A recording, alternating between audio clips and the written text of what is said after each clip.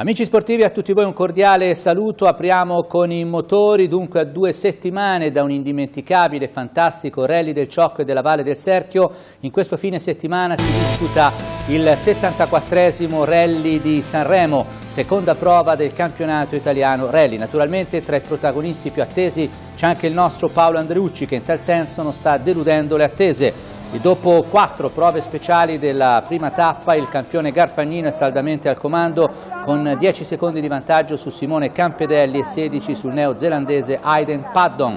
Una prima tappa che probabilmente si deciderà sulla lunga e temuta mini round di oltre 33 km da disputarsi nel cuore della notte. Sabato vi ricordiamo che la corsa proseguirà con la seconda tappa, altre 5 prove speciali, tutte piuttosto impegnative, secondo quella che è la caratteristica del rally di Sanremo ed un'altra classifica da stilare. L'arrivo della corsa è previsto nel pomeriggio a Sanremo, la città dei fiori.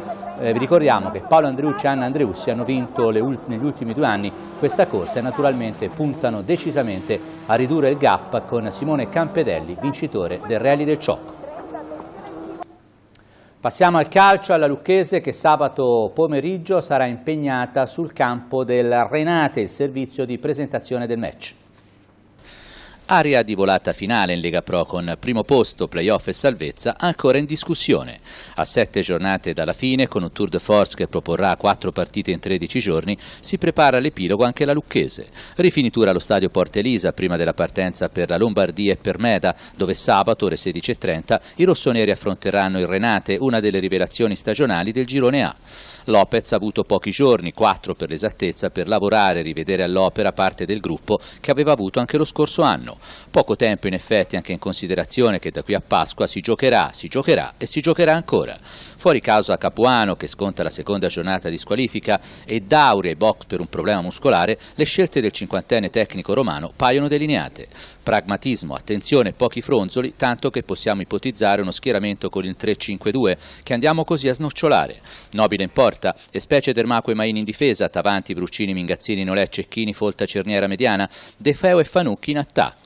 Il pallone racconta che all'andata era il 13 novembre al Porta Elisa finì 1-1, botte risposta nel primo quarto d'ora con Renate che si portò in vantaggio grazie a questo colpo di testa del poderoso centravanti Marzeglia. Sollecita la reazione dei rossoneri che pervennero al pareggio con Merlonghi che trasformò così un calcio di punizione. La partita fu poi avvincente con la Lucchese che non riuscì però a sfondare e questo Renate di arancio vestito che confermò di essere una delle più belle realtà del torneo. L'hockey su pista, missione quasi impossibile, ma provarci non costerà nulla. Il Forte dei Marmi tenta la rimonta a Barcellona, dove di remontate se ne intendono. I rossoblù campioni d'Italia giocano infatti sabato sera, ore 20, la gara di ritorno dei quarti di finale di Eurolega sulla pista del formidabile squadrone catalano, che all'andata si è imposto per 3-1 al Palaforte. Sabato sera si completerà anche il quadro della 25esima giornata del campionato di A1. Tra le partite in programma la trasferta del CGC a Viareggio, ormai sicuro del terzo posto, a Monza.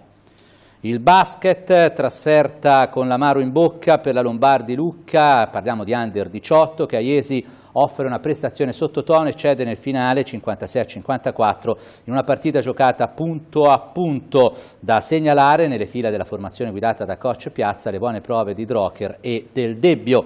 Sempre per il basket, in questo caso la Serie C femminile, nel match al Palabox di Altopascio contro Castel Fiorentino, il CG Serramenti si impone nettamente 57 a 28 in una gara dominata fin dal primo quarto primo posto delle Altopascesi è sempre più saldo, buona prova del collettivo con Calanchi, Salvioni e Lanzarini su tutte. Nasce dopo lo challenge allievi di ciclismo su strada anche lo challenge provinciale di mountain bike. Evidente che lo challenge allievi Lucca Versilia di ciclismo su strada, giunto quest'anno alla sedicesima edizione, non gli bastava più.